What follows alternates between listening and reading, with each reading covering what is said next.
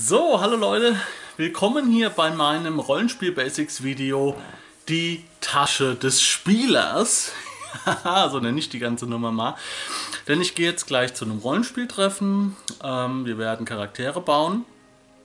Und ich dachte mir einfach, ähm, ich zeige euch mal, wie ich auf so ein Event oder zu so einem Rollenspiel gehe. Ähm, einfach nur, weil das für mich auch schon dazu gehört. Ähm, für mich ist es wichtig, dass das Rollenspiel ganzheitlich ist. das ist schwierig jetzt, was meine ich damit? Es geht mir darum, ähm, ich, ich mag das haptische Gefühl, ich mag das, wenn ich ähm, so eine so eine Einsatztasche habe, nenne ich es jetzt mal, und ähm, da sind meine Sachen drin und was da drin ist, das zeige ich euch. Das hier ist meine Tasche. Die hat mir mal ein, Kumpel geschenkt. Die hat irgendwie von der Gamescom oder so, StarCraft 2 mit Kerrigan und, und äh, dem Zerg-Symbol drauf. Ich spiele super gerne äh, StarCraft und ähm, dementsprechend war das auch top. Ne? Ja, und die habe ich halt, die ist dann irgendwann über die Zeit zu meiner Rollenspieltasche geworden. Ich hoffe, die hält ewig, wird sie aber nicht tun. So, ich zeige euch jetzt erstmal, was ich jetzt heute Abend dabei habe. Wir wollen, ähm, wir wollen Charaktere bauen und uns kennenlernen. Es wird so eine neue, eine neue Tischrunde, eine Midgard-Tischrunde. Und ich habe jetzt für dieses, das habe ich jetzt gepackt. Und es ist eigentlich nur eine Sache drin, die ich normalerweise zum Rollenspiel nicht mitnehmen würde. Äh, zeige ich euch jetzt. Das als erstes, das ist mein Tablet mit dem Uhrwerkaufkleber. Warum habe ich das dabei? Hier sind alle Regelquellenbücher, die ich bei Midgard 5 äh, als PDF bekommen habe, habe ich hier drauf gezogen. Und äh, ja, Musik ein bisschen leiser machen.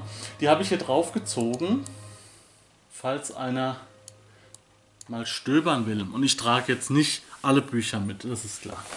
Welche Bücher ich aber mit habe, ist beim Midgard ganz logisch. Den Codex und das Arcanum. Das muss jeder Midgard-Spieler haben. Da geht kein Weg dran vorbei. Die anderen Bücher sind optional, aber das hier ist das Wichtigste. So, dann, ich habe mir so ein Mäppchen mal bestellt bei Amazon. Und dieses Mäppchen hier kostet 1,80 Euro oder was. Ich hatte damals noch Amazon Prime und musste keinen Versand bezahlen. Das ist einfach so ein. Es hat auch sechs Wochen gedauert, bis es da war. Ich dachte, das kommt gar nicht mehr. Und ähm, also da ist der Versand teurer als, oder war in dem Sinn umsonst. Ähm, ja, in diesem Mäppchen habe ich einfach nur Bleistifte drin und halt mehr als einen. Das habe ich immer so dabei. Ich habe ich mir halt einfach irgendwann mal so zugelegt. Das ist jetzt wirklich nicht so, dass ich jetzt sage, das brauche jeder. Ich mag das aber. Ne? Ich, wie gesagt, ich mag beim Rollenspiel auch dieses ganze haptische. Ich gleich wieder rein, sonst vergesse ich es dann. Dann habe ich dabei meinen 12 Götter Würfelbecher von DSA. Der ist aus Leder, hat auch so, ein, so eine Klappe. Also, oh. hat auch so ein, so Deckel, der hat jetzt nicht gehalten, weil hier drin habe ich einen Spitzer. Habe ich mir extra mal irgendwann gekauft, von Faber Castell. Der hat, den kann man so öffnen und dann kann man, äh, kann man den ausleeren. Tipptopp, wirklich. Und ein Radiergummi, einer, der nicht schmiert. Ne? Ist jetzt nichts Außergewöhnliches, aber das habe ich immer so in dem Becher dabei. Mit dem Becher würfel ich dann natürlich.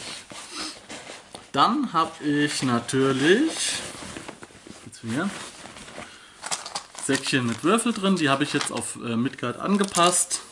Ich habe auch noch so ein Würfelkästchen, das äh, nehme ich aber nicht mehr mit. Ich tausche das dann immer aus, ich mache dann hier die Fade-Würfel rein oder was. Jetzt habe ich Würfel für Midgard hier drin. Ne? Ja, nichts Besonderes eigentlich. So. Dann, was ich immer dabei habe, College Block, leere Blätter. Beim Charakterbau, auch beim Spielen brauchen wir immer und dann meinen Midgard-Ordner. So, jetzt was, oder was, mein Rollenspiel-Ordner nenne ich es jetzt mal. Was ist jetzt das Besondere hier dran? Eigentlich gar nichts. Außer, dass ich, ähm, ist es auch mein Materialordner ist. Ich habe hier erstmal Midgard, also ich habe, ich muss mal das ein bisschen um, man muss ich mich jetzt nicht sehen, man kann ja den Ordner jetzt sehen. So, ich habe mir einfach hier so alte Register genommen. Die hatte ich noch von der, von der Ausbildung. Scheiß der Hund drauf. Und dann hier in Glasichthüllen jetzt meine Charaktere. Das sind alles Midgard 4 Charaktere. Ich habe noch nie einen Midgard 5 Charakter erstellt. Das sind die Charaktere. Plus dann zu den Charakteren gibt es ja noch irgendwelche äh, Landkarten und so von Sachen, die sie erlebt haben und so, ja. Also das sind hauptsächlich meine Charaktere. Dann haben wir Herr der Ringe gespielt. Habe ich dann hier auch mit reingemacht, weil das die gleiche Gruppe war. Haben wir Star Wars gespielt. Ähm, das habe ich auch geleitet in der Gruppe. Und das ist mein Charakter. So, und jetzt eigentlich das Interessanteste, denke ich mal, das habe ich mir irgendwann mal so erarbeitet. Material. Ähm, ich habe hier eine handgezeichnete Karte vom, von Alba. Die, die ist jetzt überholt, weil die, ähm, die gibt es jetzt von, ähm, bei Midgard 5 gibt es sie als Quellenbuch mit dabei. Aber das sind so Sachen, die man so gesammelt hat, weil das sind uralte Spieler und so und jeder von denen hat so ein paar äh, Fundstücke, man findet noch was im Internet und das ist immer ganz schön. Dann habe ich hier so ein, so ein Jahreskreis, ne, sage ich jetzt mal, mit den ganzen Tagen und so. Zwergische Götter, das habe ich alles mal bekommen. Hier eine Karte von Boluga, ähm, die bei dem Buch aus der, was war das, vierte oder dritte Edition dabei war. Hier habe ich noch Dungeons Dragons Charakter, Savage Worlds Charakter, gut, das ist Blödsinn. So, und dann habe ich immer dabei Charakterblätter. Ähm, das hier sind die Zauberblätter für M4. Ich habe es jetzt einfach mit Edding draufgeschrieben, dass das M4 ist. Ähm, Charakterbogen, nochmal Charakterbogen und dann halt das gleiche bei M5. Die habe ich jetzt eben gerade erst ausgedruckt. Wie gesagt, ich habe noch nie einen Charakter gespielt. Ich habe jetzt ähm, es gibt jetzt äh, auf Midgard, wenn ihr den Codex habt, da wo ihr den Codex runterladen könnt, gibt es jetzt auch ähm, die Datenblätter Edit nennen die sich. Ähm, und das sind nur drei. Das ist das Abenteurerblatt, dann ist es das Figurenblatt und das ein Zaubererblatt. Weil in den Datenblättern, die ihr online findet, das sind fünf oder sechs verschiedene. Das sind, ähm, da, da, ist eins für den Taumaturg und den Weisen und eins für den Tiermeister und das. Und der ganz normale Abenteurer fehlt. Und die ganzen Figurenblätter, die es da gibt, die brauche ich nicht. Und das ist genau das, was ich brauche. Ich brauche ein Blatt für einen Abenteurer.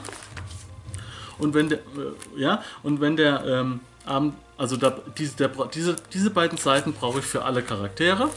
Das Figurenblatt und das Abenteurerblatt. Und wenn ich Zauberer bin, mache ich das Zaubererblatt noch dazu. Also ich brauche nicht diese gesonderten und so, also das brauche ich nicht. Weil hier, die Sache ist die, ähm, hier bei dem Abenteurerblatt sind zu wenig Fertigkeitskästchen drauf. Das reicht nicht. Ähm, Waffenfertigkeiten, äh, Waffen sind hier ohne Ende. Das sind ja bestimmt 20 Waffenslots, das brauchen wir nicht. Dann nehme ich lieber hier das Blatt, das Figurenblatt. Aber das Problem ist, hier fehlen halt die, Kam die Kampfgeschichten. Ja, hier sind ganz viele Fertigkeiten, aber also ich würde es dann so machen, dass ich jetzt hier auf das Figurenblatt meine ganzen Fertigkeiten drauf packe. Wissensfertigkeiten, sonstiges. Alle Kampffertigkeiten, alles was um Kampf geht, kommen hier auf das äh, Abenteurerblatt. Und natürlich die Waffen, weil das ist, die, das ist eigentlich der Kampfbogen, das Abenteurerblatt. Und das Figurenblatt ist dann für den Rest. Ne? Ja, und aufs Zaubererblatt ist natürlich klar, das ist mein für Zauber, ist natürlich klar. So, jetzt habe ich hier noch ein paar Sachen. Äh, das ist von Midgard 4. Das, äh, ich weiß gar nicht, ob das äh, selbst erstellt worden ist. Nee, es ist von www.midgardwerkstatt.de. Vielleicht kriegt man es da noch. Das ist, das habe ich auch nur so, das müsste ich eigentlich mal einscannen zur Sicherheit. Ähm, das sind Trage, Packesel, Blätter, irgendwas. Also hier sind Rüstungsteile drauf, Gegenstände, Tagesreaktionen, Goldstücke, Behältnisse und so weiter. Und irgendwann habe ich auch mal selbst so eins gemacht, äh, bevor ich das andere gekriegt habe. Da ist jetzt einfach nur Gepäckgegenstände, magische Gegenstände, Wagen, sonstige. Einfach nur Platz für Gegenstände. Ja. Mehr ist das nicht. So, jetzt habe ich noch ein paar Blätter, die so einfach so sind. BWL Rohertrag, Deckungsbeitrag, das ist noch, wie gesagt, aus meiner Lehre. Und dann habe ich hier natürlich ganz wichtig der Friedhof. Ne? Die sind für mich gestorben. Und hier sind jetzt Charaktere, die es nicht überlebt haben und leere Hüllen. Ne? So, das sind so die Sachen, die ich jetzt mittlerweile in meiner Rollenspielerfahrung äh, machen konnte. Also die, nein, die ich mit, mit meiner gesammelten Rollenspielerfahrung ähm, machen konnte, dass man das immer mal braucht. Und ich bin jemand, ich habe sowas gerne so zusammen und dabei. Und ähm, zu 95 Prozent, wenn ich jetzt eine feste Gruppe habe, bleibt die Tasche dann auch weitestgehend gepackt. Da kommt dann nur noch mal ein Buch rein oder raus. Aber in der Regel brauche ich dann da gar nicht groß rumhantieren. Ne? So, ja. Und das ist jetzt auch, da freue ich mich auch total drauf. Da geht es jetzt gleich los. Dauert nicht mehr lange, dann mache ich mich auf den Weg. Ähm, dass wir da zum ersten Mal so ein bisschen mit Midgard 5 hantieren und wo ich mich am meisten drüber freue, ist, dass da Leute dabei sind, die so einer hat noch nie Midgard gespielt und einer ist dabei, der hat Rollenspiel bisher nur mit äh, Bekannten gespielt, Dungeons and Dragons, ein paar Abende und das ist, also so wie er jetzt gesagt hat, zeitlich ähm, so ein bisschen es ist nicht auseinandergefallen, also die Gruppe existiert noch, aber es ist halt immer manchmal, es gibt halt wirklich Gruppen, da ist das zeitlich eine Katastrophe, das zu managen. Das scheint da wohl ein bisschen so das Problem zu sein. Und ähm, der hat aber noch nie so viel und intensiv Rollenspiel gespielt. Ähm, ich werde da mal gucken, dass ich das so ein bisschen manage, ähm, äh, dass es ja, ich will nicht sagen, zu meinem Willen läuft so, aber ich möchte halt, ich werde nicht der Meister sein. Es gibt zwei Leute, die super lange Erfahrung haben. Ähm, ich werde Spieler. So. Ich überlege aber, ob ich die Abenteuer, die ich für Midgard habe, ob ich die vielleicht dann auch mal im Rotationsprinzip mit, ähm, mit der Gruppe spiele, dann habe ich auf der einen Seite kann noch ein bisschen Meistererfahrung ähm, und auf der anderen Seite kann ich die Abenteuer ausprobieren und dann für euch quasi vorstellen, wie sie gelaufen sind und so. Mal gucken, aber das ist wirklich Zukunftsmusik. Ich will mich jetzt erstmal darauf konzentrieren, dass ich da mitspiele und den neuen oder Anfängerspieler ähm, ganz stressfrei dazu bringe, dass sie Rollenspieler werden und nicht nur Figurenspieler. Ne? Ja, den Unterschied könnte ich euch auch mal irgendwann mal erzählen. Das ist aber jetzt in dem Video vielleicht zu viel. So, das ist meine Tasche. Das ist meine Spielertasche. Das ist nicht meine Ich leite in Rollenspieltasche. Die sieht vielleicht noch ein bisschen anders aus, obwohl auch nicht viel. Da würden dann jetzt noch würde jetzt noch mein Abenteuer drin sein. Ähm, egal ob ich das Abenteuer jetzt irgendwie als Printheft mitnehme oder selbst ausgedacht hätte, so mehr wäre dann wahrscheinlich auch nicht drin. Ne? Jo, es gibt nur noch eine Sache, die auf jeden Fall ich mitnehme, wenn, wenn wir dann Rollenspiele spielen, gerade bei Midgard. Das ist mein Battleground, den habe ich auch immer mal selbst gebaut. Das ist so ein Kampffeld mit einer Plexiglasscheibe und da kann man dann auf der Plexiglasscheibe malen.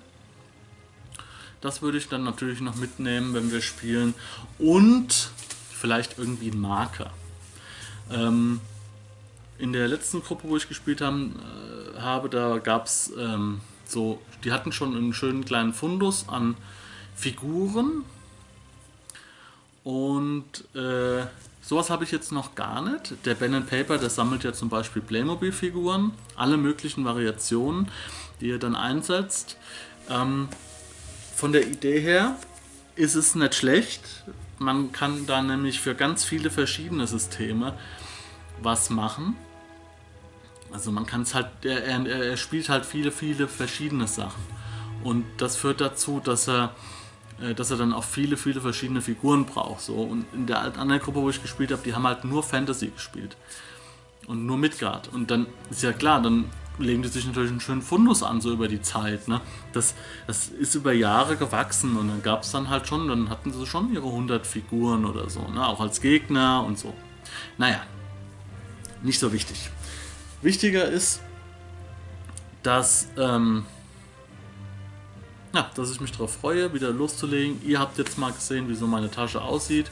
Ähm, ihr könnt auch gerne mal ähm, eure Tasche beschreiben oder wie geht ihr los? Äh, geht ihr nur mit dem Charakterblatt los und so weiter? Ähm, Würde mich auch interessieren, gerne unten in die Kommentare und wir sehen uns im nächsten Video und Ja, macht's gut.